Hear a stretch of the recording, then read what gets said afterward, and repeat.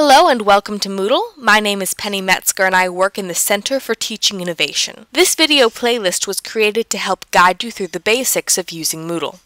Over the course of this series, you will learn how to log into Moodle, how to access your courses, how to access course files, how to take a quiz in Moodle, and much, much more. If there is a topic you would like to know more about, or if there's something we didn't cover, please send us an email at moodle at uno.edu. Now, let's get started.